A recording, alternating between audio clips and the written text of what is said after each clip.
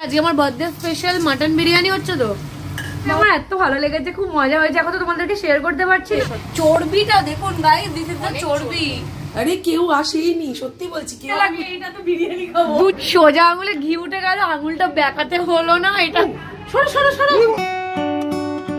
Good boy goes to heaven and bad boy goes to Bangkok সত্যি ওদের কাছে খুব স্পেশাল আমি জানি আর আমার কাছে ওরা খুব খুব খুব স্পেশাল অ্যান্ড আমি ব্লেসড আমি গ্রেটফুল আমি ব্লেসড নেচারের কাছে ইউনিভার্সের কাছে। এই প্রথমবার আমি সত্যিকারের সারপ্রাইজ হয়েছি। মানে আমার বার্থডে পার্টিটাই ম্যাচাকার হয়ে যেত।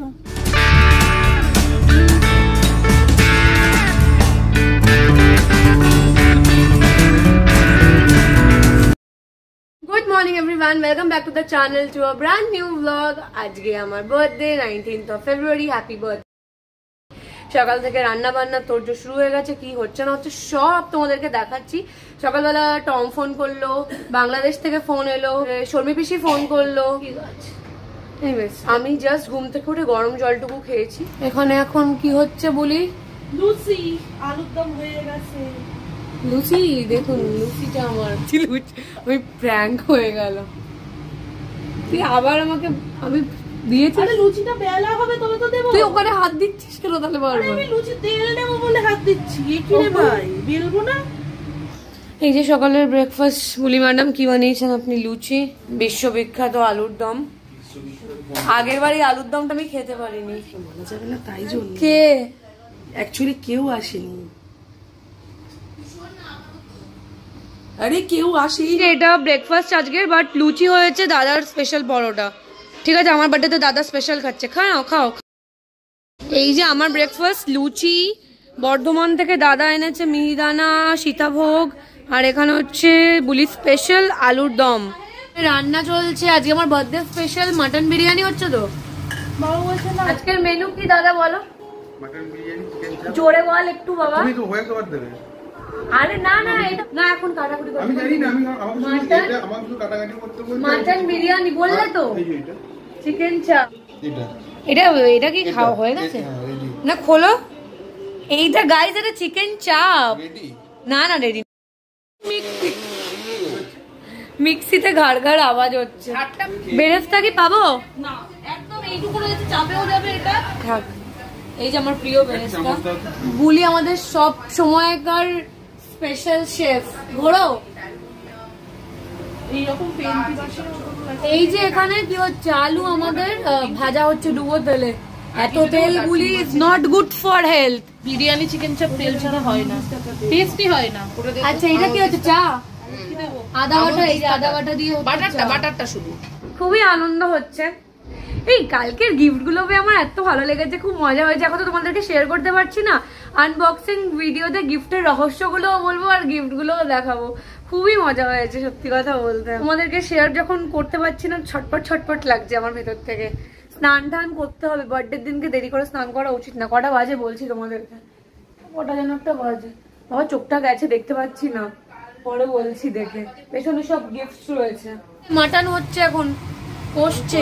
চর্বিটা দেখুন গাইস দিস ইজ দ্য চর্বি। আমি আজকে একটা চর্বি খাবোই একটুখানি খাব। বলল কালকে যখন মাটনটা আনতে গেছে তখনই মাটনটা আমরা এখন চা খাচ্ছি আর আমার ফেভারিট গান চলছে। চা চা খাচ্ছি গরম। বুলি রান্না বুলি রান্না করতে করতে ব্রেকে আছে। কিচেনে চলে এসেছি আপডেট দিতে। কি কত দূর কি হয়েছে বুলি? এটা ইয়ের জন্য। বলে বিরিয়ানির জন্য। দেখি ওই চর্বিওয়ালা পিসটা পুরো মানে আমি আজকে গাইস চর্বি খাবোই। কি কাণ্ড হয়েছে? বিগ বাস্কেটে প্লেট অর্ডার দেওয়া হয়েছিল একটু দেখুন। এই যে প্রসাদ দেওয়ার প্লেট এসছে গাইস এটাতে নাকি বিরিয়ানি খাওয়া হবে। এটা কি রিটার্ন হচ্ছে আমাদের? হয় না? এটাতে আমরা কি খাব? ডায়েটের জন্য অল্প অল্প এই বলি তুই খা তোর এটা কাজে লাগবে খা। এটা তোর কাজে লাগবে। এটা তো বিরিয়ানি খাব। দু চামচ বিরিয়ানি আর একটা পিস চিকেন নিয়ে নিবি শেষ। দাদা মাথা গুজে কি করছে ফ্রিজে কে জানে? স্নান করে এসে দেখছি বিরিয়ানি রেডি মনে হয় এখানে। না।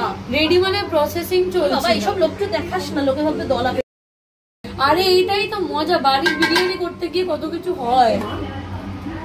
ওটা একটু নাম সর্দি ঘিটা দাঁড়াও সর্দি ঘিটা মাখিয়ে দিচ্ছে বলে। দাদা কি বলছো? সোজা আঙুলে ঘি উঠে গেল আঙুলটা বেঁকাতে হলো না এটা কন্টেন্ট আজকে। কি হয়েছে?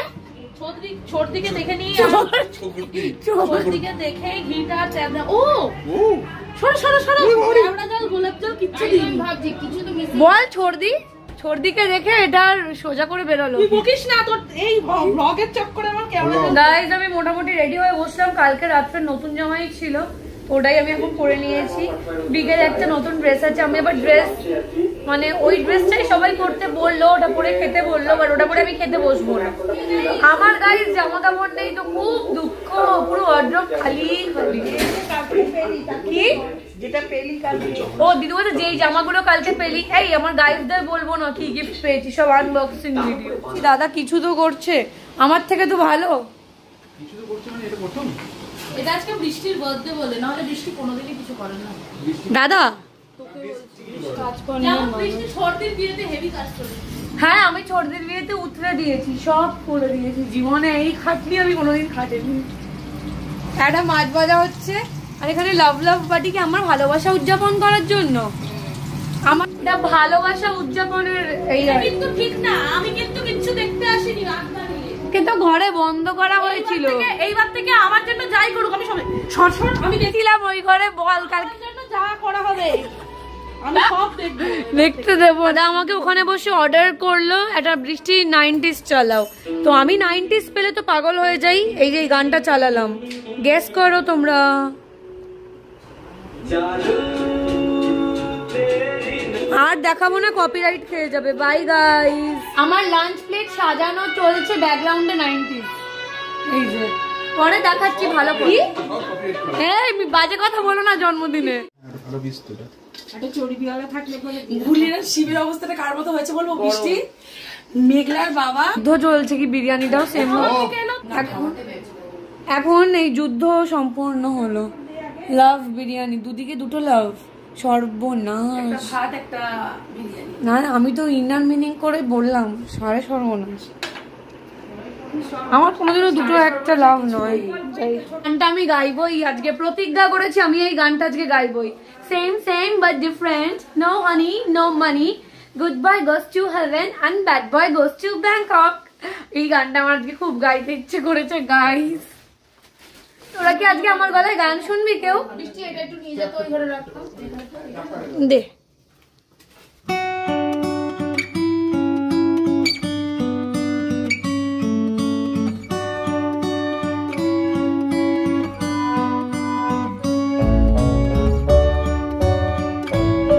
পায়েস পায়েস শুরু হচ্ছে তোমরা একটু আমার পোস্তটা টেস্ট করতে পারো। কিন্তু অলওয়েজ গুড়ের পায়েস তো দারুণ বানায়। এতগুলো খেয়ে পরে আর তোর ইয়ে হবে না?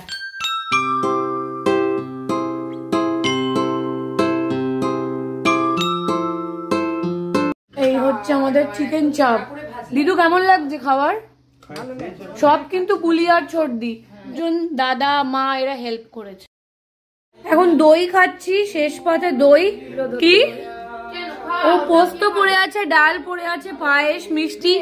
আমি খেতে পারি না। গাইজ আমি এত খেতে পারি না। আমার মাসি মনে করে আমি খুব খাই। তাই আমাকে এখন ঠুসে দিয়েছে।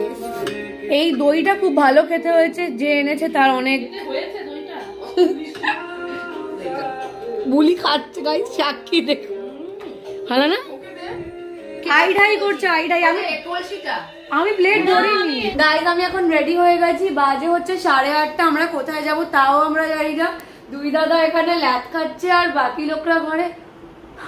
অ্যাকচুয়ালি লাঞ্চ করার পর আমার স্পাইনের পেন বেড়ে গেছিল তো তখন মা আবার আমাকে ম্যাসাজ করে দিচ্ছিল। তো না তো আমার যে প্রবলেমটা আছে ওটা নিয়ে ভুগছিলাম এক ঘণ্টা দেড় ঘণ্টা ধরে তো ভেবেছিলাম কোথাও বুলির আজকে খুব চিজ কেক খেতে ইচ্ছা হয়েছে ব্লুবেরি চিজ কেক কেউ খাওয়াচ্ছে না বুলিকে। সাড়ে আটটা বাজে তাও আমরা কোথাও বেরোতে পারছি না। ঠিক আছে? মানে জানি না কেন সেটা আমার শরীর খারাপের জন্যই ডিলে হয়ে গেছে। খুব বেশিক্ষণ লং টার্ম ধরে দাঁড়িয়ে থাকলে বা লং টাইম ধরে বসে থাকা এক পশ্চারে থাকতে পারি না। তো এই হচ্ছে সমস্যা। এখন মোটামুটি ওষুধপত্র খেয়ে আবার ঠিক আছি। পেন কিলার আমার জীবনের বন্ধু আপাততকার জন্য?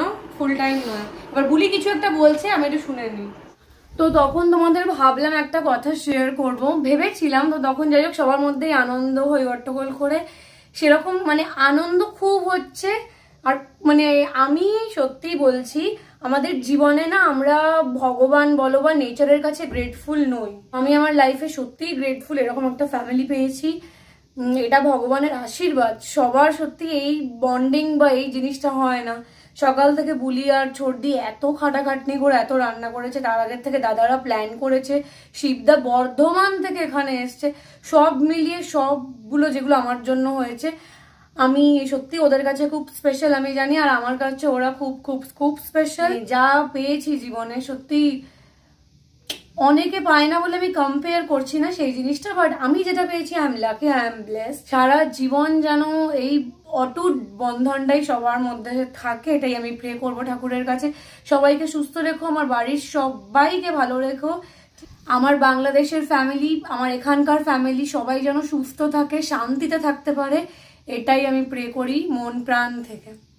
যেন জীবনের সব কটা সিচুয়েশন ডিল করতে পারি ভীষণ স্ট্রং ভাবে। আমি নিজে খুব স্ট্রং একজন মানুষ হয়েছি পরিস্থিতির সাথে এমনি এমনি তো কেউ স্ট্রং হয় না। বাট এটা যেন চিরজীবন থাকে ম্যাচুরিটি এসে যাওয়া খুব ভালো জীবনে খুব ভালো ফিল হয়। এ ব্যথা হয়ে গেছিল। তোমরা সবাই আমাকে জাস্ট এইটুকু আশীর্বাদ করো আমার বার্থডের দিনে যে আমার শরীরটা যেন পুরো সুস্থ হয়ে যায়। যা হয়েছে সেটাও যাতে ঠিক হয়ে যায় পুরোপুরিভাবে।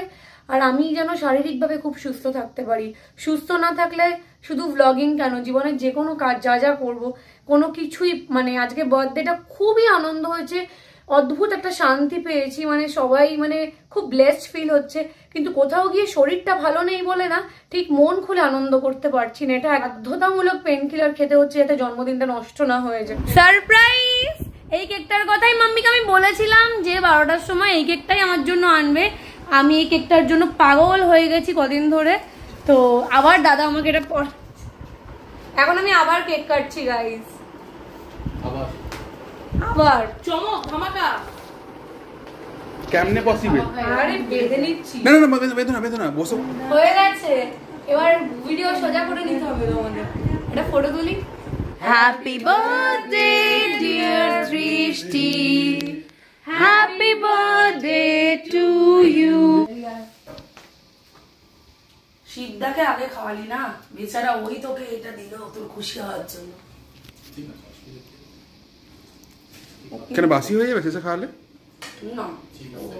আমি সত্যি কালকে খাইনি। আর যদি না পাই এটা কেন? তুমি দু তিন পিস খাও। না না।